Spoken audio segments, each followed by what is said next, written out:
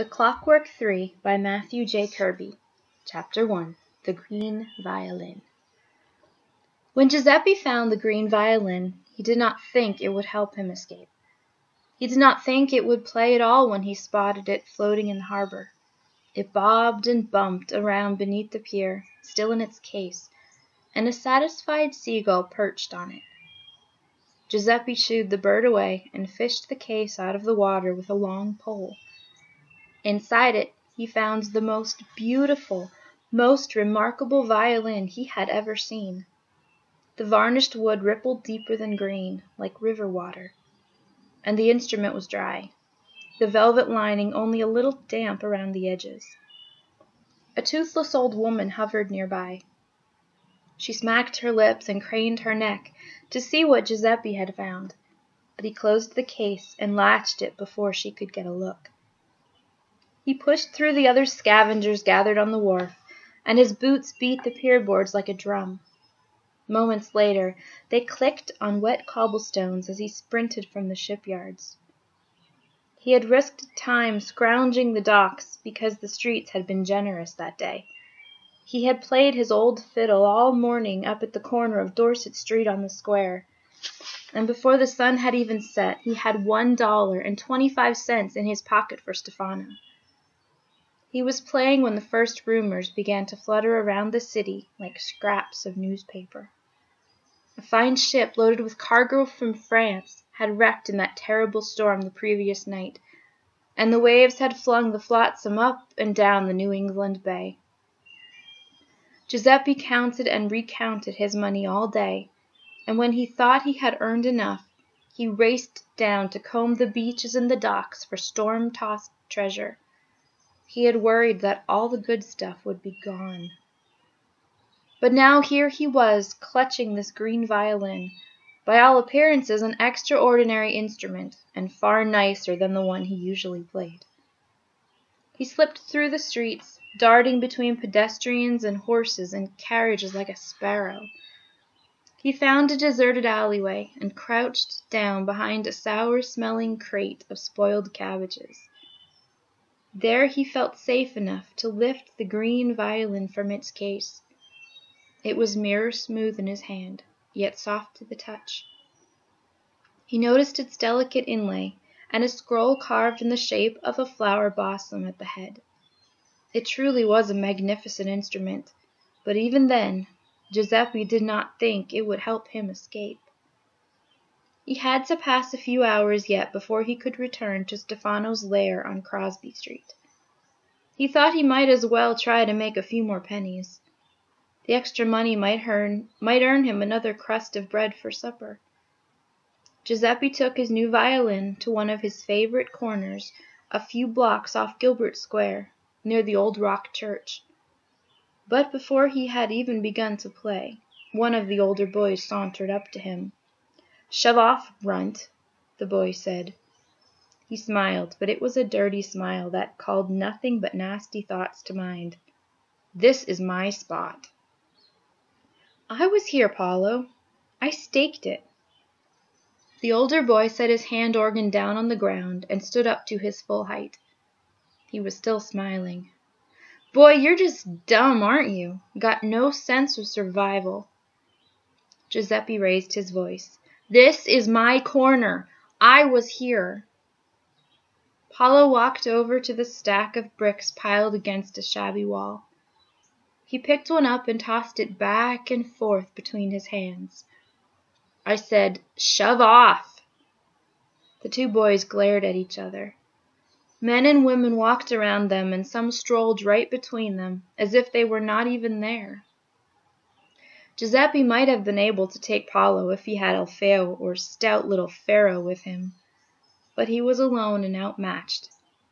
He backed away. "Hang on! What you got there?" Paolo pointed at the violin case. "Nothing." "Give it here." "No." Paolo cocked his arm back, hefting the brick. "I said give it." "No!" Giuseppe ran. Two paces away the brick shot past his head, close enough to leave dust in his hair. Giuseppe did not miss a step. He did not slow down, even though he knew that Paolo would not follow him, not when he had that corner. Not so close to nightfall when every single busker out there played for those last few cents before heading back to their padrones. Some nights it was near dawn before Giuseppe had enough money and nerve to head in. He jogged around and checked a few more corners. All taken. He saw some boys that were littler than him, and he could have driven them off if he wanted to, but he had done that before, and he was always ashamed and mad at himself afterward. Gaslights sputtered and hissed up and down the streets as he ran. He finally settled on a rotten corner at Basket Street and the old Fort Road, down near the tenements where traffic was slow and poor. But Stefano never came down there to spy on them so at least it was a chance to try out his new instrument. He tossed his hat on the ground to catch the coins, and raised the violin to his raised the violin to his chin. He drew the bow over the strings, and he stopped. The clear sound that spilled out of the green violin resonated off the walls. It seemed to penetrate the alleyways and soar up the rickety wooden staircases clinging to the outsides of the buildings. It cut through the street noise, the clopping hooves, the shouts, the factory machinery grinding away around the city. It slid through all of that like a slender hand parting a curtain. The sidewalk traffic around him had paused mid stride. That time of day it was mostly men on their way home, greasy from work. Giuseppe looked in their sooty eyes, and they looked in his, waiting. He swallowed and chose one of his favorite songs. Many years ago he had heard a woman humming it through an open window as he passed by one of the city's hospitals. The tune made him think of the grassy hills and tree-lined roads back home in Italy. He laid the bow on the he laid the bow on the strings and played. As he fiddled that song on the green violin, he felt a new sensation. He played the music. It came from inside him, but once it left his hands through the violin it was as if he turned around and came back to him as something different from what he sent out. The song acquired the anatomy of a living thing. Giuseppe watched the invisible tune light on each passer by like a cherry blossom carried on a breeze. The tired bodies, stooped and trod upon, rose up their eyes rimmed with dirt and yellow from smoke, filled with tears. The copper and silver coins flashed in Giuseppe's hat. When he finished, the passer-bys applauded. Applauded for him.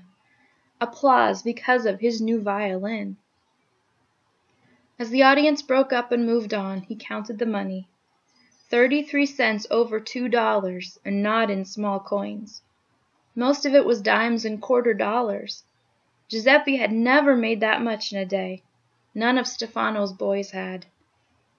And that was when Giuseppe first started to believe the violin could help him escape, something he had always thought impossible.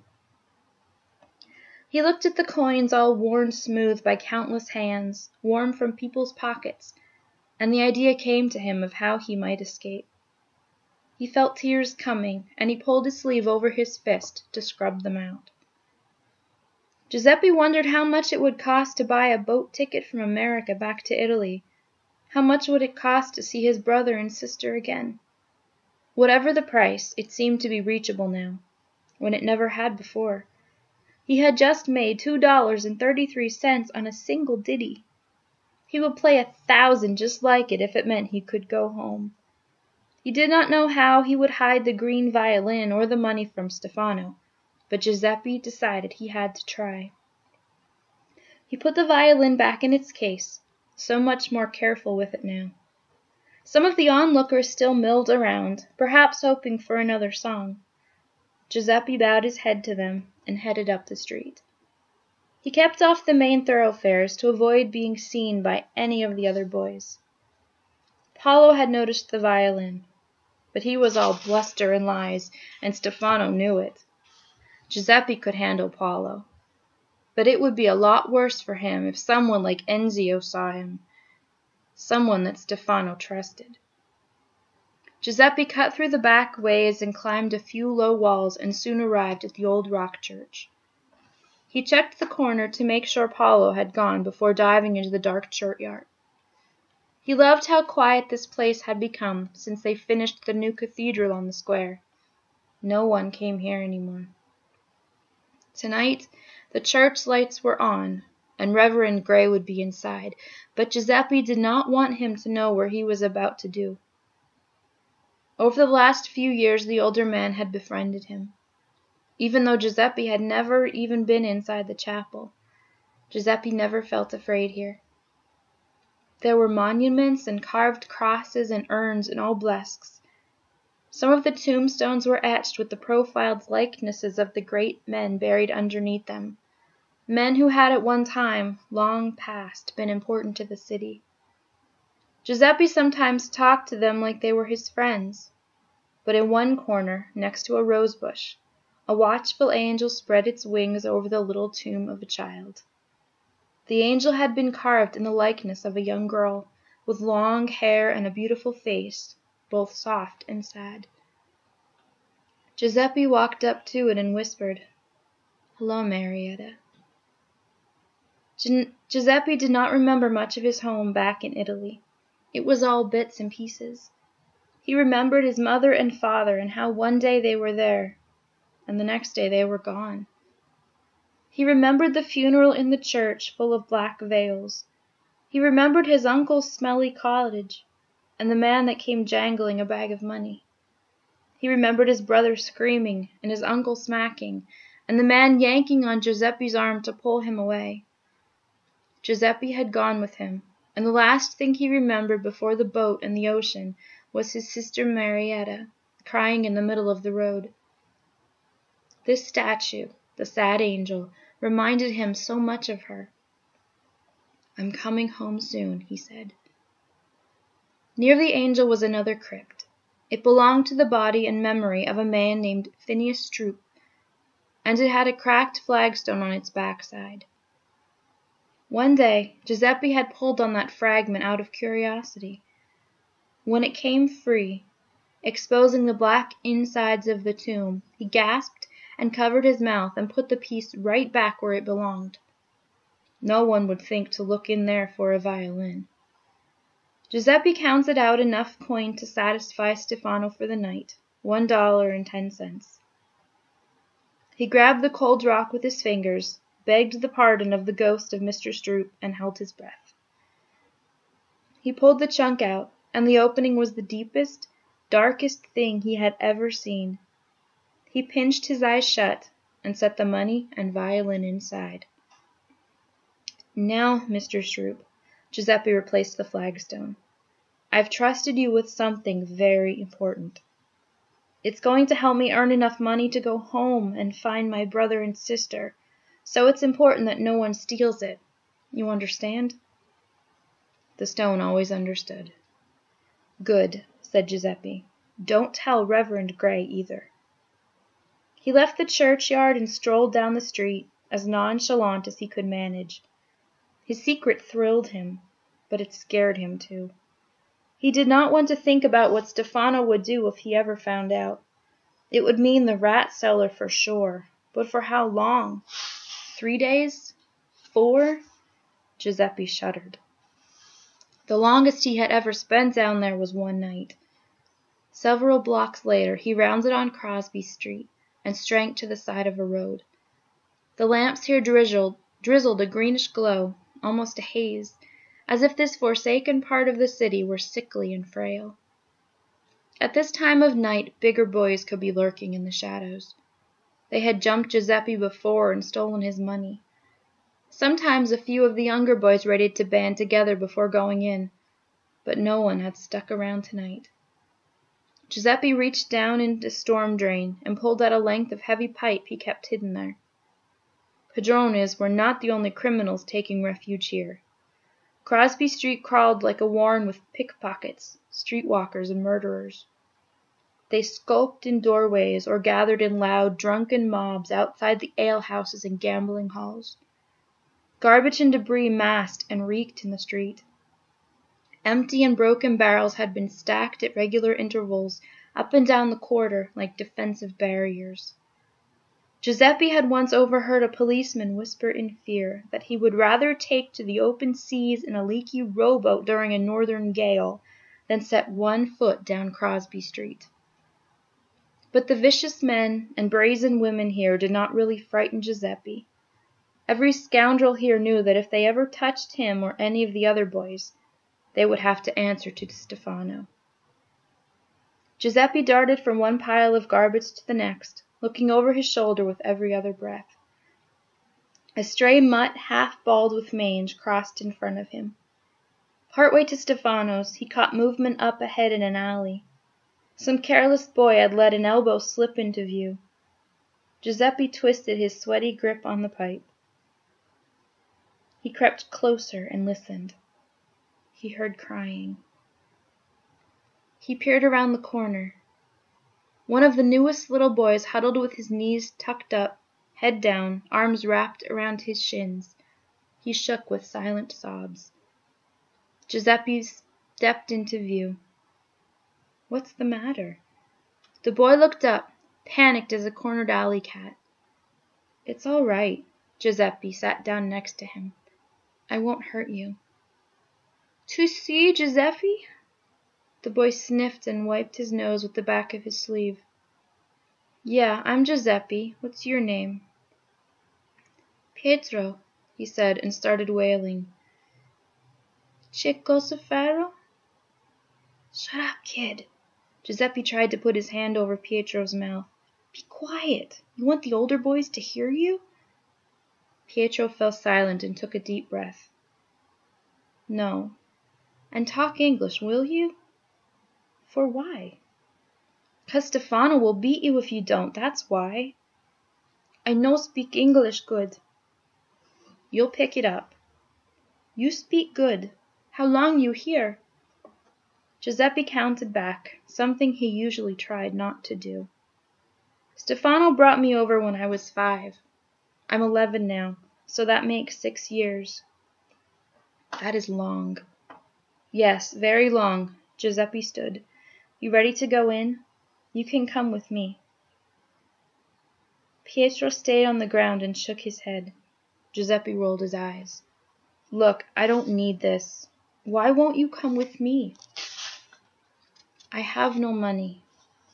How much did you make? Pietro shied away from him. I'm not going to steal it, said Giuseppe. I swear. How much? Seventeen cents. Giuseppe's stomach tightened. That's all? Pietro nodded, head down. Giuseppe tapped the pipe along his leg. This was bad. The kid would get beat for sure, and severely. Stefano liked to break them early and hard. Giuseppe swore and dug in his pockets. Here. He pulled out some of his own money. Take this. It's seventy cents. Pietro sagged with relief and looked like he was about to cry again. Giuseppe scratched his head. You still don't have much. You might not get supper, but trust me, that's better than the rat cellar. Pietro closed his small fist around the money. Thank you. Come on. Giuseppe put his arm around the boy and ushered him out of the alley. They trotted the last few yards to Stefano's building. Each story of the wooden structure leaned over farther than the one below it. Its windows stared lightless and hollow into the street below. The exterior of splitting timber slats and flaking shingles appeared benign enough. A couple of other boys approached the front door, and Giuseppe hung back. He and Pietro waited and watched. No one accosted the newcomers. They made it inside. Let's go, said Giuseppe. He still had forty cents. He had brought Stefano less than that before. He could take the punishment, or at least he hoped he could. Pietro lifted the latch and opened the door. He slipped through and was gone. Giuseppe was about to follow when someone grabbed him from behind. His feet came off the ground, and his assailant dragged him into the street. The pipe flew from his hands. You make a lot today, Giuseppe. The attacker threw him into an oily puddle. Of course you did. Giuseppe rolled over and looked up. Ezio towered over him, thin and cruel as an icy night spent in the gutter. He held a nail-spiked club he had made from the heavy leg of a table.